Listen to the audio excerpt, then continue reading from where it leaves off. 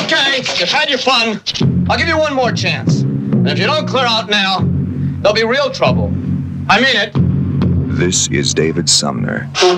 All his life he's been running away, turning his back on trouble, involvement, and confrontation. Until now.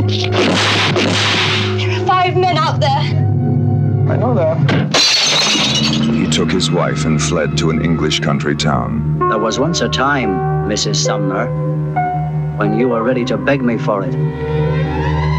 Take your hands off me. What you doing? Huh? You're an animal. He thought he could find peace and refuge. Instead, he found that a man can't hide forever. Where I live. No, no. Oh! I will not allow violence against this house. Sam Peckinpah, who uncaged the Wild Bunch, now unleashes Dustin Hoffman in Straw Dogs.